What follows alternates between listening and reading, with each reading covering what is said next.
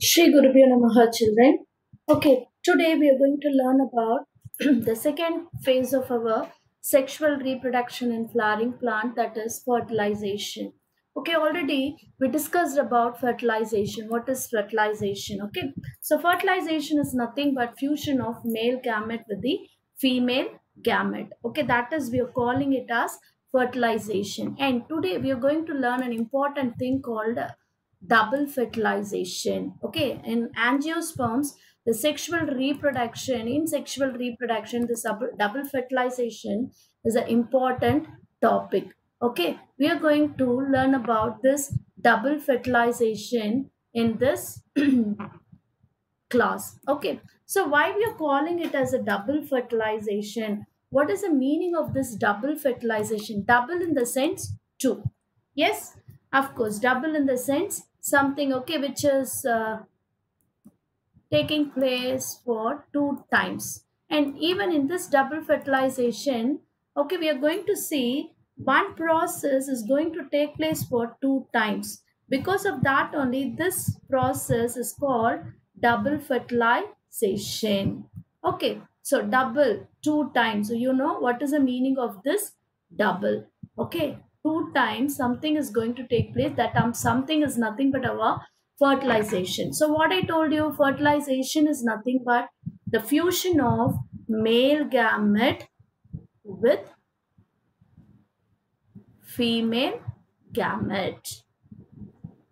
Okay male gamete with female gamete. So when this male gamete and female gamete fuses together it results in the production of the structure called zygote. Okay all the living organisms on this earth okay including we human beings we started our life as a single cell. That single cell is called this zygote. Okay so this is how the fertilization okay it is taking place. And i told you two times this fertilization is going to take place in the flowers ovary so that we are calling it as double fertilization. So in this session we will see in detail about this double fertilization. So before going into the double fertilization you just have a recap of our embryo sac formation. That is female gametogenesis you have seen uh, in reproductive system of a flower okay we have seen megagametogenesis. That megagametogenesis you learned about that embryo sac okay that is very important to learn about this double fertilization. So what is this double fertilization when you see? It is a, a phenomenon of it is a phenomenon of fertilization involving the fusion of one male gamete with egg together with the fusion of second male gamete with polar nuclei. You just, okay, uh, recall the structure of our pollen grain, pollen pistil interaction. In that I told you, the germ cell of pollen grain is going to divide mitotically to produce two male gametes. Okay, as there is the presence of two male gametes, two times fertilization takes place. And here in this place, when you see two times, I told you that fertilization is taking place. First time, okay, the first fusion involves the fusion of one male gamete with the egg present inside the ovule. And the second fusion is fusion of second male gamete with polar nuclei okay so to learn this okay just we'll have a recap of our embryo sac so that it will be clear about this polar nuclei and egg cells and all. Okay. So this is our embryo sac. Okay. So you can see this. See here this is actually female reproductive organ. Okay. Here it is having okay. Here it is having stigma, style, and this is our ovary. Inside the ovary, okay, we know that, okay, that antipodal cell formation. And here it is synergid cell and the center one is our egg cell, okay. And pollen pistil interaction, we learned all uh, learned all these things in detail. That structure, embryo sac structure, and these two things which remains at the center of this embryo sac, we will call this as our polar nuclei. So this is the structure of our what is this uh, embryo sac? And now see here pollen deposited on the stigma and pollen tube is started forming. And as this progression that pollen tube formation proceeds what will happen? The germ cell of pollen grain okay divide mitotically to form two sperms. Two sperms here it is male gametes two male gametes. Okay so now see here two male gametes through this pollen tube. The pollen tube, I told you, the synergid cell helps in the entry of this pollen tube into the mature ovule, this uh, that embryo sac. Okay. On entering that embryo sac, the pollen tube burst open to release these two male gametes. So these are the two male gametes. So you can see here the first male gamete fuses with the egg. Okay, in this place, the first male gamete fuses with egg. Okay, this fusion, the male gamete fuses with egg and this fusion, we will call this as our syngamy. Okay, syngamy which is otherwise called true fertilization. True fertilization. Okay, so this is the first fertilization taking place here.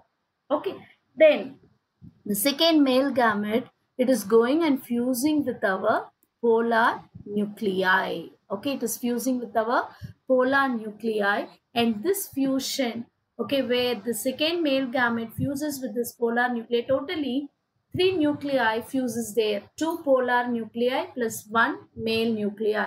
So triple fusion, this process as there is a fusion of two, sorry, three nuclei, this process is called triple fusion.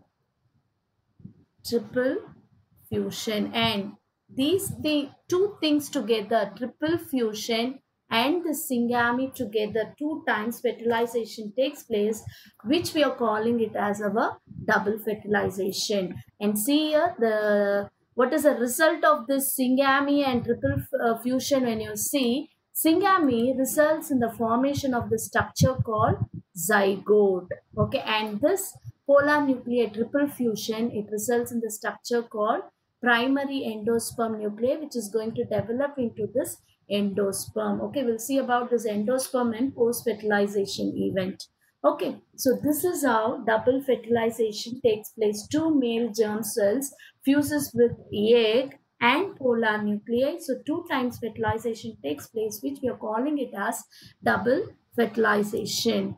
And see, so this is the explanation for our double fertilization. See here children, male gamete fuses with egg. Male gamete it is N. N in the sense, what is the meaning of N children? Okay, it is talking about the ploidy of that male gamete. Okay, gametes are formed by a special type of cell division called meiosis. So when the cell is undergoing meiosis, the number of chromosomes is getting reduced to half. Okay, because of that only meiosis will call it as a reductional division. And here, N in the sense, the chromosomes are not present in pairs. Okay, single set of chromosome. That condition we will call it as haploid. So haploid male gamete fuses with egg which results in the production of this zygote. So egg also it is a female gamete of course it is also haploid in nature. So n plus n which leads to the zygote which is 2n. 2n in the sense we call, will call it as diploid. Okay chromosomes are present in pairs. Okay and this is our true fertilization. This process is nothing but our syngamy. Okay, so next to syngamy, the next one uh, is our triple fusion. Second one is our triple fusion. So what is taking place actually in the triple fusion and you see the second male, gamete fuses with the two polar nuclei which results in the formation of the structure called primary endosperm nuclei. Okay, primary endosperm nuclei this structure PEN we used to call. PEN, not this pen. This is primary endosperm nuclei. Okay, so now your ploidy is not given. Can you tell me the ploidy? See again, it is male gamete. Okay, male gamete. What is a ploidy?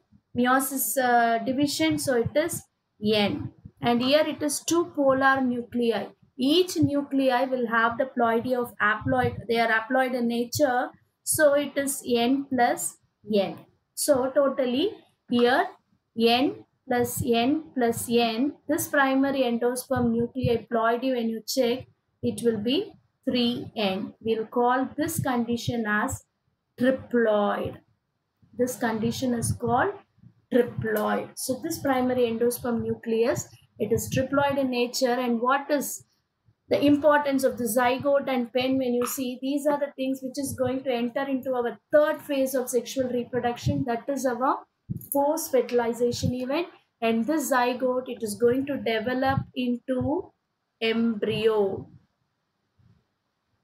Okay the baby plant embryo. And this primary endosperm nuclei is going to develop a structure called endosperm. Endosperm is a nurturing tissue for this growing embryo. Nurturing tissue in the sense it is going to give the nutrients for the development of this embryo from zygote so this is called our uh, double fertilization